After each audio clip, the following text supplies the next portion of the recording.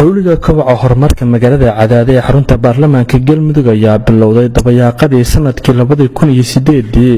Xilligaas oo dhidibada loo taagay maamulkii ximan iyo xeeb cadaadana u ahayd xarunta guud wixii ka dambeeyey sannadkii labada kun iyo sideedii magaalada ayaa samaysay horumar weyn waxayna horumarka ka samaysay dhinacyada caafimaadka waxbarashada dhismayaasha iyo adeegyada kale uu ka mid yahay garoonka diyaaradaha iyo shirkadaha bixiya adeegyada bulshada.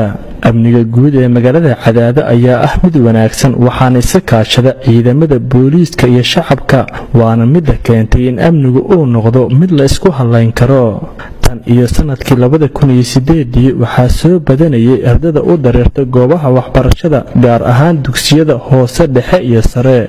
Waxaadna arkaysaa arda badan oo u socota goobaha waxbarashada.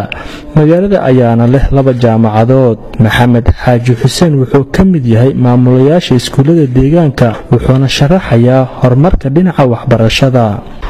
Runtii waxbarashada deegaanka waxaa la odhan karaa waxa weeyaan tobankii sano la soo dhaafay waxay ku tillaabsatay ama waxa ay gaartay meel runtii waxa weeyaan aad iyo aad uga duruqsan ma la dhihi karo uga sarraysa deegaanada ku xeeran meel iyo la jaan qaadi karta magaalooyinka caasimadaha ee waaweyn ee dalka sida caasimadda muqdisho oo kale waxyaabaha aan u salaynaya waxaa ka mid ah maxaa la yidhaahdaa tobanka dugsi ee dugsiyada sare ah ee ku yaalla magaalada cadaado imtixaankii hadda shahaadiga ahaa ee wasaaradda waxbarashada ay qaaday ardadii ka qalin jebisay oo imtixaankaas gashay waxay ahayd afar boqol iyo labaatan iyo sideed arday. Taas iyaga ah waxay waxaa ka mid waxay ka mid noqdeen tobanka arday ee dalka ugu sarreeya marka laga soo tago waxbarashada waayihii dambe waxaa aada u soo badanaya dhismayaasha casriga ee laga hirgelinaya cadaado. Bilicda magaalada ayaana soo jiidatay dad badan oo soomaaliyeed waana midda keentay in qaar ka mida qurbajoogta ay maalgashtaan deegaanka iyagoona dhistay dhismayaal qurxoon axmed sheekh xasan jagajage waa qurbajoog muddooyinkii dambe ku howlanaa sare u qaadista bilicda cadaado wuxuuna dadka ku dhiirigeliyaa beerista dhirta iyo qurxinta magaalada. Magaaladan waxay leedahay astaamo aysan magaalooyin kale soomaalida lahayn ama calaamado. Waxaa ka mid ah la dhihi karaa calaamadda ah blue city.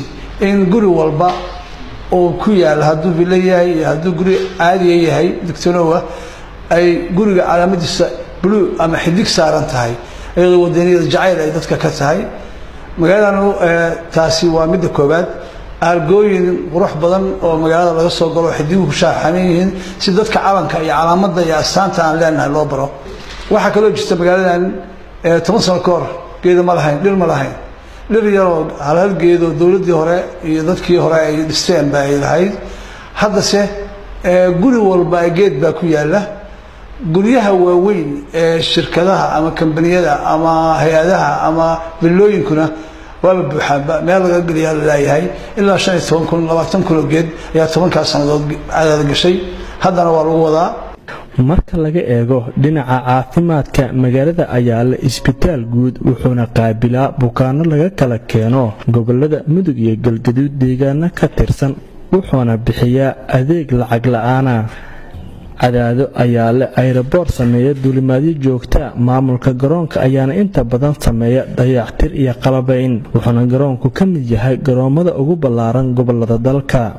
Marba marka ka dambaysa magaalada ayaa waxaa ku soo badanaya gaadiidka raaxada kuwaas oo xilliyada qaarkood xira waddooyinka saxmadda jirta awgeed dhanka kale marka aad dhex joogta magaalada waxaad dareemaysaa deganaansho waxayna indhahaagu ay qabanayaan bulsho. Si deganaan ugu sheekaysanaya goobaha la isugu yimaado.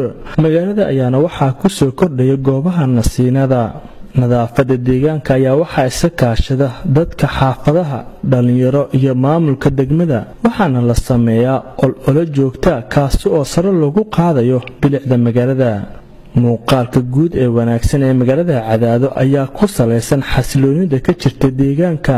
Waayihii dambe ayaana waxaa soo kordhayay horumarka dhinacyada kala duwan ee samaynayso magaalada cadaado ee xarunta baarlamaanka galmudug. Maxamed maxamuud owaadan tv-ga caalamiga universal cadaado